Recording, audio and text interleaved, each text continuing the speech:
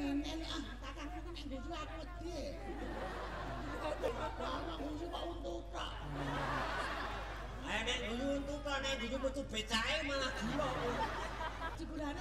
kaya Santi ya.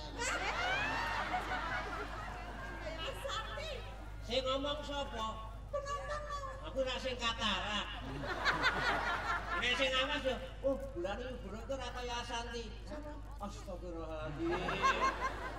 Suruh menghibur dalam acara Sabda Tawa karena program dari Kabupaten Boyolali baru menggalakkan kesenian-kesenian tradisional makanya kita dipanggil ke sini gitu.